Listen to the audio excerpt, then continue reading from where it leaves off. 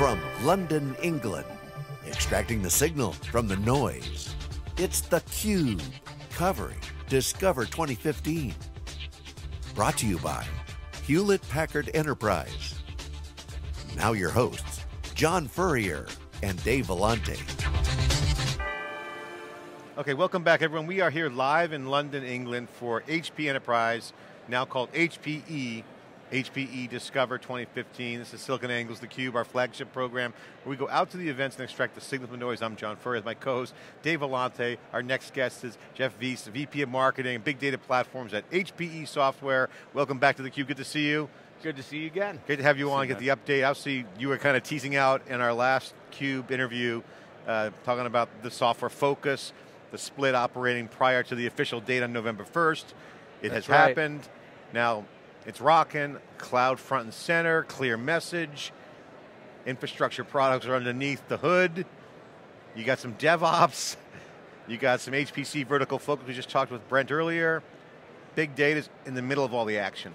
Yeah, well, Give us you the know, there's the four transformational areas, and you're right, the last time we talked just a few months ago, this was just a plan. Yeah. And plans don't always work out. Uh, so it's pretty immense that a company fundamentally split. It's devils in the detail, but we're already feeling, feeling it uh, working well. And coming to an event like this, that's as immense as it is, Yeah. where there's nowhere to hide. Yeah. You know, um, literally there's nowhere to hide here. Uh, it's about bringing it together and seeing that it resonates. You know, it's not just about splitting the company in half, that's the action. It's about being able to focus and tune the business so that we can be far more agile and far more focused. Yeah. And um, still a big company, you know, there are companies Yeah, yeah. smaller, you know, we're still in the Fortune 1000, Fortune 500, but it feels like such a nimble company compared to uh, the, the Hewlett Packard classic version, if you will. You know, you predicted it when we talked uh, prior to the split. You were like, you, you predicted that it was going to be the sharp focus, and it is. Everyone we talk to here has a laser focus on their business, and you can see the kind of the. I won't say they won't say M and A, but like organic growth, and also they're focused. So you know, congratulations on predicting that, and it feels good here. So, um, anything new to add from the Vibe show here with the new marching orders and products? Obviously, the transformation areas are there. Well, th that's the two levels, and that I think it's important for the audience to look and hold us accountable for delivering on these transformational areas. You know, I would be the not the first executive to point out these transformational areas are not necessarily new concepts. The one obviously that my business is most focused on, and it's at, I would argue is at the center at, is empowering a data-driven organization. Now, I imagine you could go back 10 years, 20 years, even 30 years, do a Google search and find somebody use the term data-driven. Um, that's not a new Yeah. concept, but what's new is about the kind of data we're talking about, the scale of it, the velocity of it, and who's using it. Yeah. And that's where we're talking about making sure the technology is actually accelerating it versus getting in the way. You know, we, we did a poll and we surveyed why people sometimes struggle with getting these data-centric deployments going. It's more than just an app. You Yeah. know, getting an app up and running can be complicated. It, it can be non-trivial. But then when you're producing the data, the big question is, does anybody care? Does anybody use it? And um, I think we talked about, uh, you know, back in the summer that the monthly report is dead. Nobody Yeah. cares. Yeah, real time is where it's at. It's, it's got to be near real time, and that's not the exception. And that's where the focus seems to be going is data-driven means getting your data, but getting it in the hands where it can affect the business in a way that's meaningful. So I got I got to ask you on on the transformation. I want you to explain this for the folks watching. The there's four transformation areas: hybrid infrastructure, security, data-driven organization, and workplace productivity. I mean, different names, but generally those are categorically ones. Sure, the data-driven. We had a great talk about the tooling and making that the one transformation. But your products and HP software cuts across all that. We talked with Sue and security. Boom, business model opportunities for her is data. I talked with wireless uh, that guys, Dom Orr, and he's like, hey, it's the data. It's in the data. It's, Yep. it's not the price of the access points, it's what, they, what they're enabling. And obviously in workplace productivity, data-driven is also going to be embedded in applications. So talk about the difference in how HP software, obviously we talked the, the converged infrastructure synergy team, it's a software platform too. So what's your group do on the software side and explain outside of the transformation area the products that you guys are driving. Well, all the pieces come together and they're all essential. So uh, it's a little silly to say one's more important than the other, although I have my bias. Yeah, but yeah. what I think the, the key thing is, is that data is really a living being. And it's not, you know, we're certainly still in the industry talking about big data, but I'm talking more often about making your data big. Uh, sometimes we have customers that do have petabytes of data, and they need to work through that and, and find Yeah. that needle in the haystack. Uh, sometimes they'll take 50, 100, 200 terabytes, relatively, you almost can put that on a thumb drive today, um, and they take that across into, as hot data, and then they act on that. And it's not really the size of the data, it's often, is that data meaningful and can you use it? Now what we do is we have two franchises, and we've really repositioned them, and I'd love to share that. We have the Vertica franchise, and then the IDOL Enterprise franchise. Vertica is about blazing speed with traditional SQL analytics, uh, database analytics, but we use what's called a columnar store that can be 10, 100, even 1,000 times faster than traditional databases. now the key thing, and what we've introduced here at the show, is the Vertica Advanced Analytics family. And this is where we have a claim that right now I can't find another vendor that can compete with. Because we have core Vertica capabilities, which is about this high performance engine. But now we offer it in five different ways. We have a community edition, it's free. You can take it, you can run up to a limited amount of data, throw it into production and go, and kick the tires with it. And customers love doing it because they don't want to just study, they want to do. Mm-hmm. We have Vertica Enterprise, which is our flagship offering. That has the optimized file structure. That's what Facebook runs on, that's what Twitter runs on, that's what major banks run on. If you want the optimal uh, performance with all the functionality, we've added things like geospatial analytics so that you can actually bring in location and place into your analytics during your data analysis. You want Vertica Enterprise. But around that, we've added a couple other animals to the zoo. Those include not one, but two flavors of cloud. Not a lot of people know this. We have Vertica On Demand. That is a pure SaaS offering. You pay either by the terabyte or the query. It is a SaaS model where it's subscription. You don't worry about the deployment. You load your data, and our guarantee is you can be up and running in one hour. But the second one we have is public announcement for support for Amazon Web Services. So you can buy a Vertica license, you can go to Amazon Web Services, go to any of their data centers, and be able to deploy that license in a self-managed server. So you're not in a multi-tenant environment now, you're in that managed server. And then the final one, of course, is Vertica for SQL for Hadoop, where um, you can here move, if you will, the analytics to the data instead of the data to the analytics. And if you have large Hadoop clusters, run it there. So those five different deployment consumption models means that uh, you can have it any way you want it. Now, some people would say, well, a company that's big, they're going to pick X. Well, I see increasingly big pharmas, they might take the cloud for a rapid pilot prototype, test out a concept, and then deploy on site, or vice versa. And it's being received really, really well. And none of our competitors, they may offer one or two of those flavors, but we're the Baskin Robbins the database is offering all these different And- flavors. And the, and the Vertica On Demand is a, a hosted offering by you guys? That's a SaaS offering that you provide, or is that?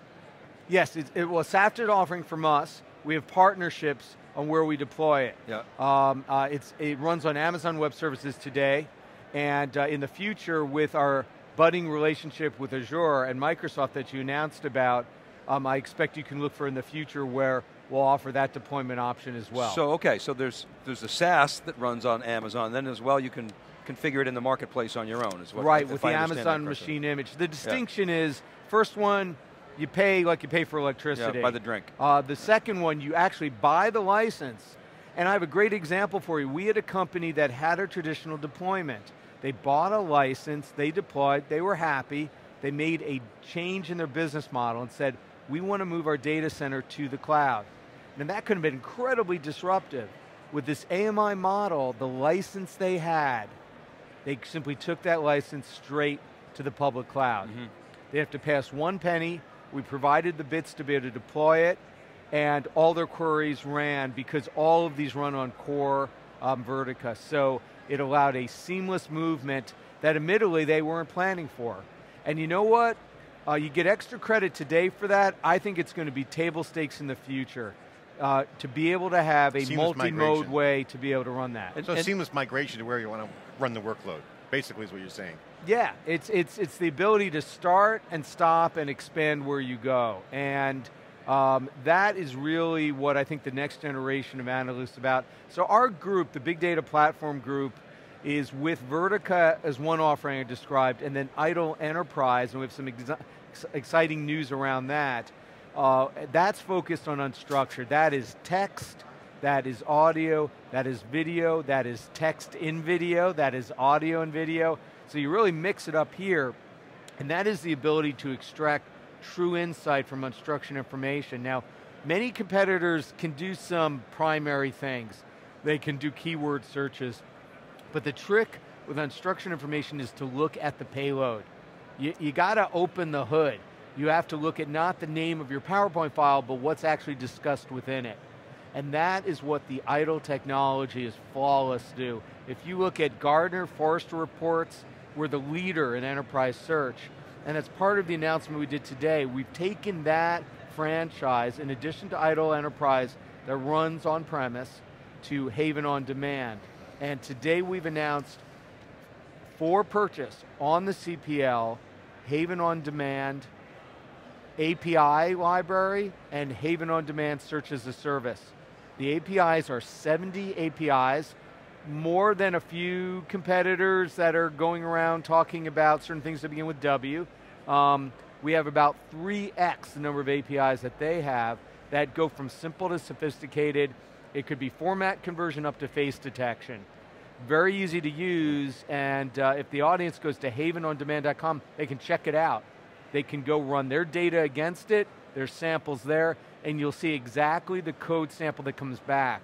And so, important point there is this is analytics for the developer. This is to do an analytic app. You know, a lot of people hear analytics, and there is certainly a, a, a school of analytics that it's the data scientist running the analytic. But increasingly, it's going to be about developing services and applications that use the analytics in them. You know, companies like Uber that run a service, that's an analytic. You don't think, it's getting you a car, but analytics are what's doing that. That's the smartness that comes into Yeah. it. And to be able to consume and bring that into mobile apps and enterprise apps. I mean, that's the idea economy. That's what you That- need. I mean, basically, that's the meat on the bone for the idea economy. Well, it's it's it's about consuming data within that service, and so the APIs are one thing they were offering, and then the other is um, a uh, search as a service, which is a curated search offering uh, that lets you know people use Google and Bing all the time, and it's great results, right? The results on page one give me the sports score. I can see how Manchester United did. If I'm here, I can see not the 49ers, not doing so well, so we'll go with the Pats. Um, you can see how your favorite football team's doing. Um, but Google and public search capabilities fall on their face often when it's enterprise search, because the payloads that you're looking at are not web, public websites where you're running a popularity contest of did a million people before want to go there. Now you want to be able to look inside that PowerPoint file, inside that video, inside that email, and you want to look at what's being discussed. You need a different technology, different approach, and that's what search as a service does. Well, if you use Google now and you type in a, like a search query for like your air flight reservations, it's actually reading your email, and it puts it right at the top of the search result. Oh, your flights, whatever. We did that's kind of freaky, but uh, it's interesting. Well- this is the new tooling. it's it's part of it, but that that's very very basic. Yeah. Um, the ability to uh, identify key terms and go, oh, that's an address. Maybe we'll link Yeah, to that. yeah. So what you're seeing now that we're able to do is look far deeper at the patterns that are being discussed Yeah. and make those pattern connections across it. Uh, so there is some overlap, but we're talking about a whole magnitude of intelligence that goes beyond picking out dates and phone numbers and addresses. So I want to connect the dots with something you said earlier. You said it's not just about the big data and the size of the data, it's about the velocity. It's also about, you said, who is using it. And historically, the whole data business has been about insights for the few, decision support, you know, analysts. Knowledge is power, right? And, and, and even the early day, right, but, but you know, 10 you know, analysts, right, with all the power. And even in the early days of the big data, it's still today, it's the data scientists. So when you talk about this search paradigm, um, and you talk about putting hand, data in the hands of many, or I talk about putting in data in the hands of many, is that what you're talking about? I mean, how do you go from where we are today, few people have all the power, is it the search piece that helps? Is it the combination of technologies? How are you operationalizing analytics? Well, uh, as simple as it sounds, finding the data is kind of job number one. Because if you can't identify and find the data that's relevant, that you're looking for, it's kind of a game stopper. But remember, often we're moving from reporting to ad hoc discovery. And what I mean by that is you start to go within your data and you let the data start to tell you the insight.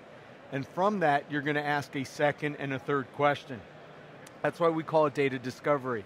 May sound basic, but most systems are not set up that way. They'll kick back some analytics, you'll look at them, you'll go, well now I have three more reasons why that anomaly occurred.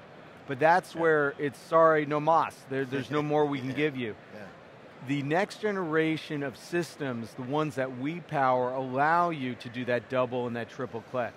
And the key thing, and you brought this up, is it, it's not uh, going and creating a report that'll take another 30 days to run. Those days are over. That is your first line, line of business. It could be data scientists, but also it could be just your line managers that want to be able to look at that information. And that is the changing that's occurring now, is taking that data and the tools, and I'll repeat that, and the tools that can be consumed and used by the edge, by the business people that are making the decisions so that you can actually close that cycle and do something about it. And that's the breakthrough we're, we're pushing, and that's, that's a sea change. Does that mean the data center and the data it has and its data lakes are, are not valid or useful? Not at all. On the contrary, you want those edge groups where maybe they've been practicing shadow IT to be able to leverage that. So it's actually bringing together, we're seeing businesses from it. Here's the other thing, traditional data, you had to know the question. Yeah. You had to, like, here's my five questions, please answer them for me. Um, and now it's about enabling discovery where you don't know what the next question is going to be, you just want to enable it to be asked. And that's a different mindset. And that's what we're seeing being demanded, is that organizations don't want to hear about six month deployments, six week deployments, and sometimes even shorter. They want to be able to have that data come in and, um, and really at the speed of business, have the people that can act on it utilize it. And they'll find a way if uh, traditional data um, IT doesn't. And, but that's where we're seeing the interest and the growth in the business. Talk about the performance of the team now. HP Software, Haven, Haven Platform, open source, all, all the things you mentioned. How's the business going? What's the top things you're working on?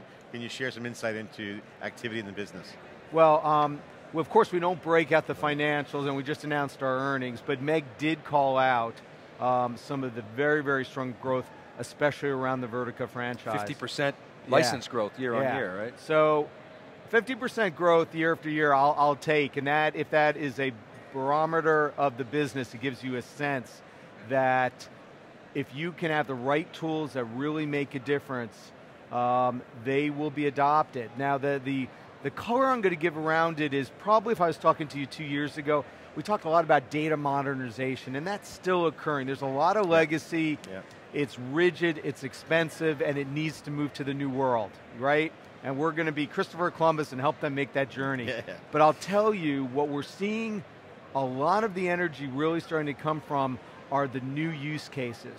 They can be in traditional companies or in like new what? companies, but these are companies that or, or use cases rather, where they're trying to do fundamentally new things with their data not so much I want to run that monthly report and now I just want yeah. to run it cheaper, Business faster. model related stuff, right? You, use that, that seems to be a pattern we're seeing on the cube here is that their apps or there's some sort of driver for growth.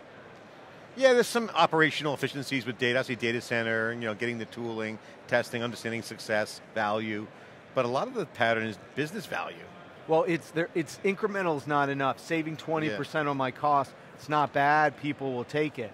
But what they're looking for is how can I have something that's going to have a material impact to the business? Because the realization there is, it is this idea economy, and if I don't do it, my competitor is. And now it's not data after the fact. It's data driving the business. Yeah. And so it's really changing the order of how data is consumed and used, and that's pushing the adoption that we're seeing. Jeff, one of the things we've noticed in the, in the big data space is, is that a large proportion of the dollars being spent are being spent on services because it's so damn complex. Talk about that dynamic. Is that changing? Are we able to sort of package these capabilities, this tooling into software that can scale better and, and actually be deployed you know, more simply? Well, um, you know, the example I gave with Vertica on Demand where you can have a in the cloud, on demand data warehouse with the capabilities of Vertica, and I can look you in the eye and say in one hour you can be up and running. That, that kind of shows you that those options are there. Now, um, what I'll connect to though is that other transformational area, which is it is a hybrid world. The stats we're seeing is that even with all the hype, we're talking 70, 80% and north of that are still going to be running traditional yeah. data centers. And there's a couple reasons why. For some companies, it's about control of the data, security of it. But for others, it's simply legacy. It's that's where the data is. Yeah, yeah. And um, they don't have a clean sheet of paper. They have to deal with it.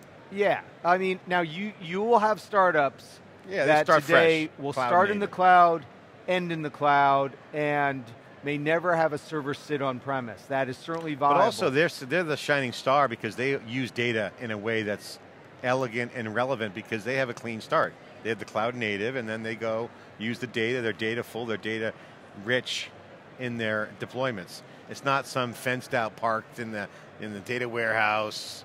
That's what Vertica is a great tool, it's performance, but like the new models, data is center of the action. Well, I think you're right, um, and at the same time, what we're seeing is a little bit of a maturization. Yeah. You'll hear yeah. customers that say, yeah, Hadoop is great, and we endorse it, and we're building around it. We've announced support for Spark, Kafka, and some of the new innovations that roll out. But you're also seeing people say, I'm going to use it in this use case, not in this one. I think you're seeing the same thing also on cloud, that it's a, it's a balancing. There are trade-offs between it, and uh, the company that I think is really going to win is one that offers you that choice without compromise, that doesn't have an agenda to drive just one flavor of computing. HPE and formerly HP has always kind of stood for that. Yeah, that choice. we're going to give you those kind of capabilities. And I'll tell you right now, that's the formula that's resonating with our customers. Custom customers usually don't like to be told they're stupid, and uh, their investments that they made and made for good reason, they want to be able to preserve and take forward for very good reason. And that is where our conversation starts yeah. versus a kind of forklift and you know, you have to do it this completely different way. And yeah. that that is what I think is going to happen over the, the next, I'd say five years, this focus around hybrid computing yeah. and how do I do that well versus attention focus of I'm right cloud, I'm right premise. You know, it's you're it's kind totally of both hybrid. right. It's a hybrid world. That's the, that out of the bottle. Final question I got to ask you. I asked this last time, and and uh, it was a long bumper sticker. So I got to ask you the bumper sticker for this show nice and tight. What's the bumper sticker for HPE this year? I, I would say focus and energy. Um, I have never seen a more positive, focused event. I've never seen an event where you truly see not just Hewlett Packard uh, offering a broad set of capabilities, but where it feels like the pieces, the machine is connected together. Yeah. If you walk around yeah. here, even how this uh, venue is organized, it's all organized by those four transformational areas. There is no hardware zone, there is no software zone. It's just about bringing solutions to address these things. And you know, I like to say when you look at the marketing and positioning and the go-to-market of a company, you should never be able to figure out their org chart. If you can, you can figure out, oh, that's this division, you know, because all their products use this color. HP Discovery used to be like that. It, you, you could literally It see the org chart on the floor. Exit. Not and here. now that we've moved past it, I Yeah. can say I don't think that's healthy. I think when you can look at a company a good point. and not be able to figure out the org chart because it looks Yeah. like it's connected together, you got to do other things. I totally but I think it's a decent litmus test. And right now, it feels like a connected company versus uh, Yeah. maybe a, a more disparate one. No, good, great point. And also the other thing I'd say is a lot of companies do cool, but they don't do relevant. And I see a lot of cool and relevant. You're not overhyping the Docker card. They're over here. You're seeing DevOps.